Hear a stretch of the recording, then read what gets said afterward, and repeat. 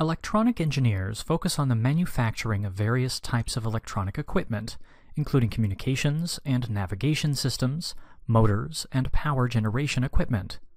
To manufacture these pieces of equipment and devices, electronic engineers create designs and build prototypes.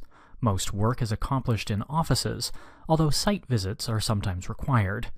Prospective electronic engineers must earn at least a bachelor's degree in electronic engineering, while not required, passing the Fundamentals of Engineering FE and Principles and Practice of Engineering PE exams to obtain licensing may be preferred by employers.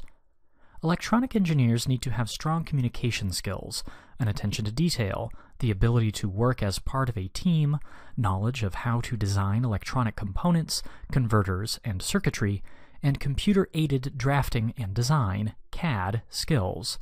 According to Payscale.com, as of January 2016, electronics engineers earned a median salary of $72,937 a year. Let's look at the steps necessary to become an electronic engineer. Most job openings for electronic engineers require applicants to hold a bachelor's degree from a program accredited by ABET. These four-year engineering programs are often housed in computer or electrical engineering departments. They have significant mathematical requirements that can include a sequence in calculus plus a differential equations course. Students may also be required to complete a physics sequence. Electronic engineering curricula for undergraduates often include coursework in circuitry, communication systems, and computer programming. Some courses include technical labs in addition to lectures. The capstone of many electronic engineering programs is the Senior Design Project, in which students research and design an original concept. Many students also choose to pursue cooperative internships in the summer to gain practical work experience. Potential electronic engineers may also want to pass the Fundamentals of Engineering FE exam. The first section of the FE covers math, science, and basic engineering topics, including materials and mechanics. The second section tests individuals on their specific discipline. Engineers who pass the exam earn the Engineer in Training, or Engineer Intern designation.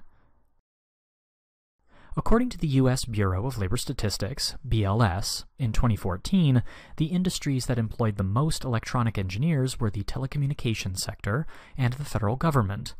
Additional industries that offered high levels of employment included engineering services companies, semiconductor and electronic component manufacturing, and navigational manufacturing.